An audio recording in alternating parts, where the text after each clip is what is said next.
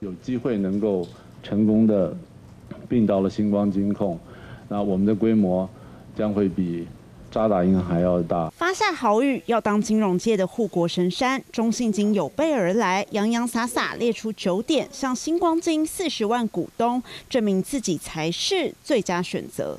中信金控的规模大于星光金，星光金控的规模大于台新金，大并小的合并成功几率相对也比较高。强调对于星光金的收购合法合规，绝非突袭。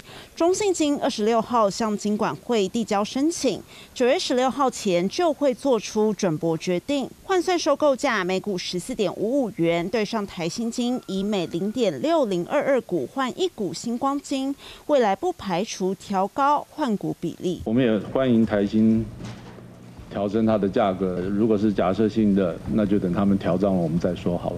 一模一样的这个架构了。那两年前，呃，我们是被呃金管会所拒绝，金管会采用一模一样的监理标准。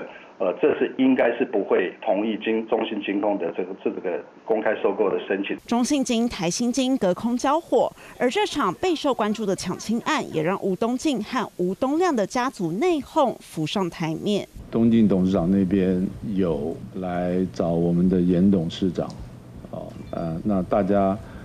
也都知道他们是姻亲，在公开收购中，纵使没有达到五十一 percent，但是透过中信金的协助入驻，在明年的股东大会成功的取得股东呃董事席次，那也可以实质的好回归掌握星光金。星光金十月九号股东临时会前，包含台新金的股价如果没有变数，就渴望越走越高。中信金能否像记者会上送出的蛋糕一样顺利完成并购案，就等时间。给答案。